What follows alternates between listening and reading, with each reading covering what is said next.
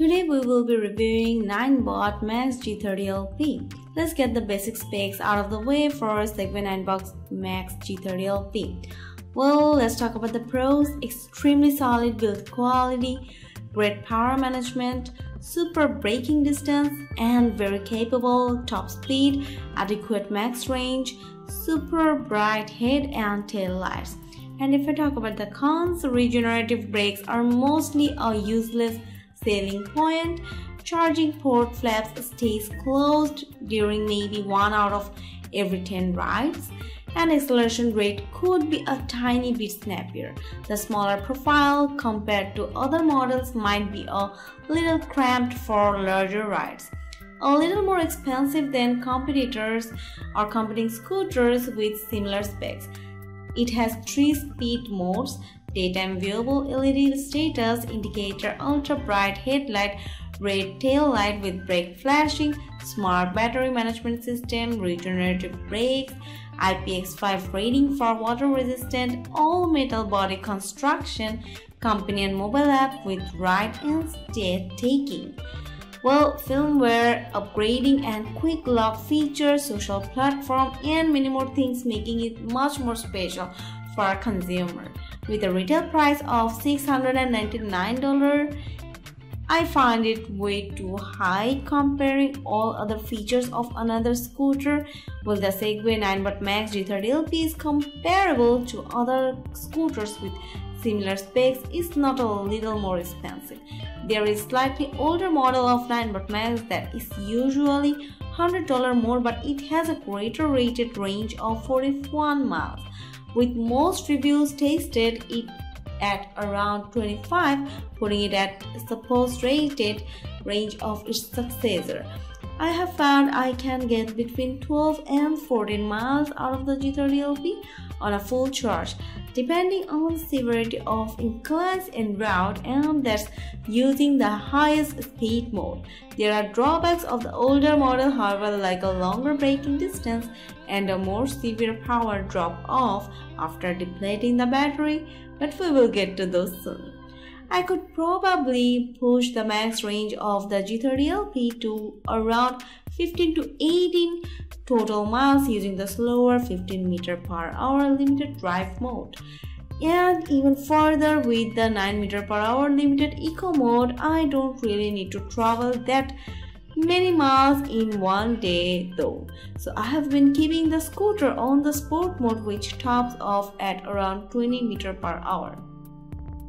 It can go faster with a simple firmware hack, but I'm more than happy with its stop speed out of the box and still feel a thrill when riding it over a smooth road or bumpy dirt path like. Larger riders might feel a little squished onto the smaller deck while holding the shorter handlebars when looking at the scooters, but my average height and build fits nicely onto the G30LP. I have put over 250 miles of riding into this scooter since I got it over 6 weeks ago now and every one of them has been full bore hard riding. Ash flat, gravel, dirt or grass, this scooter will handle it all of them. I have driven it in light and moderate rain and dried it off after arriving at my destination with no ill effects thanks to the IPX5 water resistant rating. While the all metal body and solid construction of Ninebot Max G30LP really impressed me. This thing looks and feels like a quality product and it absolutely holds up. Even after all the rough rides I have taken, when compared to the scooters used by Lime then I see around town, they look like a toy next to the G30LP.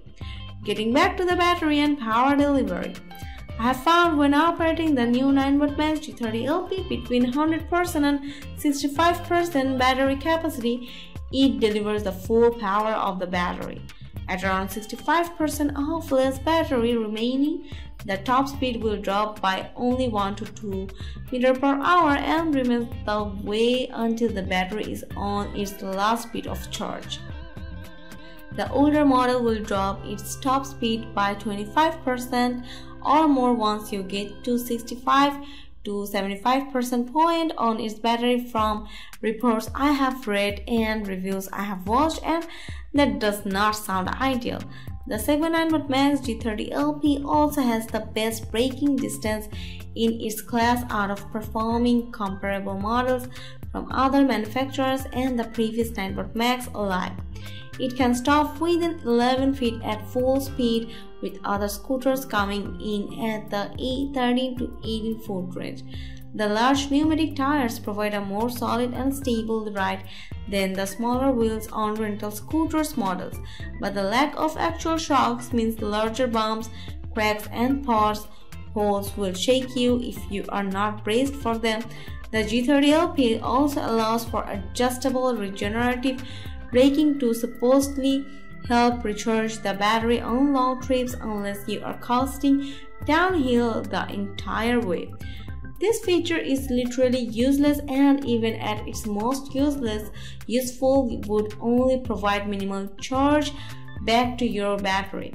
Overall, I am extremely satisfied with the Segway Ninebot Max G30 LP after really putting it through its paces. There are only two small complaints I have with this scooter. Those being the flimsy charging port cover and lackluster acceleration rate, but it don't detract from the product too much. Thankfully, it still feels like a fun and thrilling ride after more than a month of daily commutes, errands, and joyrides. Because electric vehicles require more care and caution in very cold or hot conditions, it is not a permanent replacement for me. Unfortunately, the winters in my area are typically quite cold and snowy, so my broken expedition will fix eventually for the coming season change. In meantime, though, and when the spring is upon us again, I will enjoy each ride I can take. Well, that's all for my today's video. Thanks for watching. Hope you enjoyed it. If you did, then do like, share, and subscribe to my channel and let me know your thoughts in the comment section below. Thanks for watching.